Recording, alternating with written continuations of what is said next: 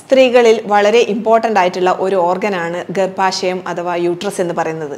പക്ഷേ ചില അസുഖങ്ങളുടെ കോംപ്ലിക്കേഷൻ കാരണം എക്സ്പെഷ്യലി ഫൈബ്രോയിഡ് യൂട്രസ് അല്ലെങ്കിൽ യൂട്രൈൻ ക്യാൻസർ പോലുള്ള അസുഖങ്ങളുടെ കോംപ്ലിക്കേഷൻ കാരണം യൂട്രസ് റിമൂവ് ചെയ്യേണ്ടതായിട്ട് വരും.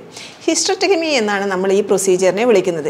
ഇങ്ങനെ യൂട്രസ് റിമൂവ് ചെയ്ത സ്ത്രീകളിൽ അതിന്റെ ആഫ്റ്റർ എഫക്റ്റ് ആയിട്ട് നമ്മുടെ ശരീരത്തിൽ പല സിംറ്റംസും കാണാറുണ്ട്.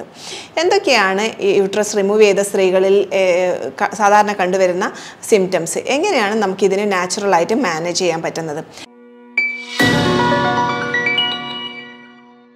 ഞാൻ doctor Shefeena C M O Samyama naturopathy and Ayurveda hospital Trikaripur Kasaragod. സ്ത്രീകളിൽ വളരെ ഇമ്പോർട്ടന്റ് ആയിട്ടുള്ള ഒരു ഓർഗനാണ് ഗർഭാശയം അഥവാ യൂട്രസ് എന്ന് പറയുന്നത്.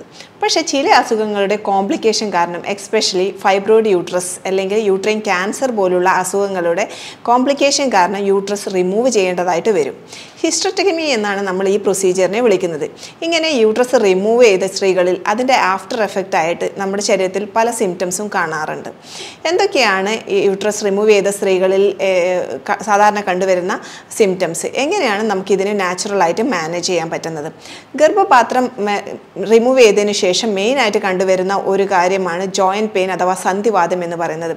എന്തുകൊണ്ടാണ് സന്ധിവാദ്യം ജനറലായിട്ട് യൂട്രസ് റിമൂവ് ചെയ്തതിന് ശേഷം കാണപ്പെടുന്നത്?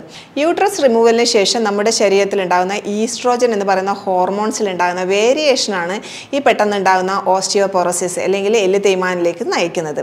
ഈസ്ട്രോജൻ എന്ന് പറയുന്ന ഹോർമോൺസ് നമ്മുടെ ശരീരത്തിലെ കാൽഷ്യം വൈറ്റമിൻ ഡി മെഗ്നീഷ്യം എന്നീ വൈറ്റമിൻസിന്റെ മെറ്റബോളിസമായി വളരെ അടുത്ത ബന്ധമുള്ള ഒന്നാണ്. ഈസ്ട്രോജൻ കുറയുന്നതിനനുസരിച്ച് എല്ലിലേക്കുള്ള കാൽഷ്യത്തിന്റെ അബ്സോർപ്ഷൻ കുറയാൻ സാധ്യതയുണ്ട്. അല്ലെങ്കിൽ എല്ലിൽ എല്ലിൽ നിന്ന് കൂടുതലായി കാൽഷ്യം പുറത്തോട്ട് വരാനുള്ള ചാൻസ് ഉണ്ട് അതുകൊണ്ടാണ് കൂടുതലായിട്ട് ഈ എല്ല് തേയ്മാനം കാണപ്പെടുന്നത്. ചില സ്ത്രീകളിൽ ഈസ്ട്രോജൻ വളരെയധികം കുറഞ്ഞു പോകുന്ന ഒരവസ്ഥ ഹിസ്ട്രക്ടമിക്ക് ശേഷം കാണാറുണ്ട്. വളരെ കുറഞ്ഞു കഴിഞ്ഞ് കഴിഞ്ഞാൽ ചില സിംറ്റംസ് കാണിക്കാറുണ്ട്. ഡ്രൈ സ്കിൻ സ്കിന്ന് വളരെയധികം ഡ്രൈ ആവുക മുടി പൊട്ടിപ്പോവുക അത് പിന്നീട് ഹെയർ ഫോളിലേക്ക് പോകുന്നതായും കാണാറുണ്ട്. മൂഡ് സ്വിങ് ഇമോഷണൽ ഡിസ്റ്റർബൻസ് ഉണ്ടാകുന്നതായും കാണാറുണ്ട്. അത് പിന്നീട് ഡിപ്രഷനിലേക്ക് പോകുന്നതായും കാണാറുണ്ട്. ഉറക്കത്തിൽ ഡിസ്റ്റർബൻസ് കാണാറുണ്ട്. ചിലവർക്ക് ജനൈറ്റൽ ഡ്രൈനസ് കാണാറുണ്ട്.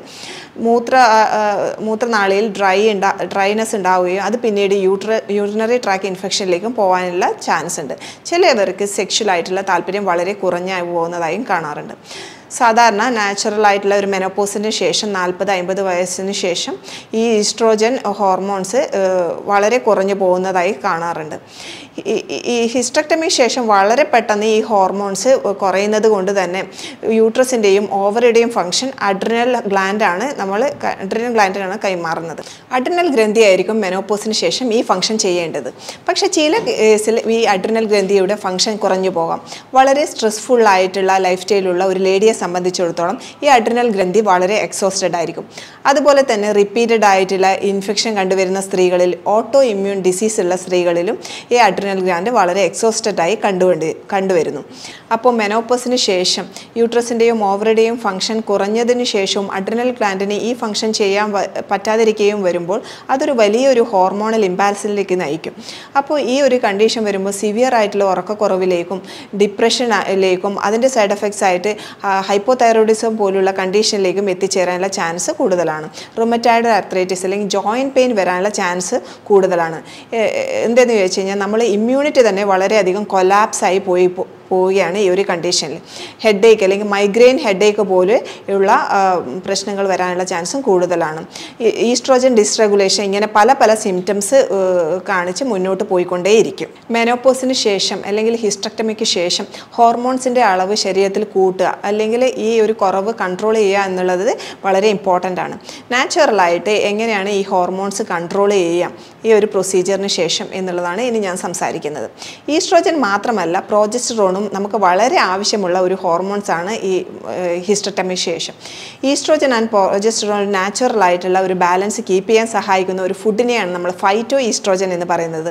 അതുകൊണ്ട് തന്നെ ഫൈറ്റോ ഈസ്ട്രോജൻ കൂടുതലായി ഉൽപ്പാദിപ്പിക്കാൻ സഹായിക്കുന്ന ഫ്ലാക്സ് സീഡ് അല്ലെങ്കിൽ ചണ വിത്ത് പോലുള്ള സാധനങ്ങൾ കൂടുതലായി കഴിക്കുന്നതും നല്ലതാണ്. ഒന്നോ രണ്ടോ ടീസ്പൂണ് ചണ വിത്ത് കഴിക്കുന്നതും വളരെയധികം സഹായകമാണ്.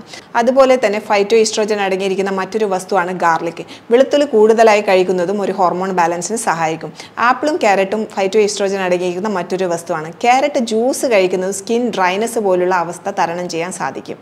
അതുപോലെ തന്നെ ഹോർമോൺസ് കൂടുതലായി ഉണ്ടാക്കാൻ വേണ്ടി നമ്മൾ കഴിക്കേണ്ടത് പ്രോട്ടീനും ഫാറ്റും ആണ്. ഫിഷ് കൂടുതലായി ഭക്ഷണത്തിൽ ഉൾപ്പെടുത്തുക. അതുപോലെ തന്നെ തേങ്ങാപ്പാലിൽ ഫിഷ് വേവിച്ച് കഴിക്കുന്നത് നല്ലതാണ്. ഫിഷും കോക്കനട്ടും കൂടുതലായി കഴിക്കുന്നത് ഈ ഹോർമോൺ ബാലൻസിന് വളരെയധികം സഹായകമാണ്. അതുപോലെ തന്നെ അരി ഗോതമ്പ് മില്ലറ്റ്സ് എന്നിവയുടെ അളവ് കുറയ്ക്കുന്നതും വെയിറ്റ് മാനേജ് ചെയ്യാൻ വളരെ സഹായകമാണ്. മെനപ്പോസ് കഴിഞ്ഞ സ്ത്രീകൾ പൊതുവേ പറയുന്ന ഒരു കാര്യമാണ് പെട്ടെന്ന് തന്നെ വെയിറ്റ് കൂടുന്നു അല്ലെങ്കിൽ വയറ് ചാടുന്നു എന്നുള്ളത്. കാർബോഹൈഡ്രേറ്റ് കുറക്കുക തന്നെയാണ് ഈ പെട്ടെന്ന് ഉണ്ടാകുന്ന വെയിറ്റ് ഗെയിൻ മാനേജ് ചെയ്യാൻ വേണ്ടി സഹായിക്കുന്നത്.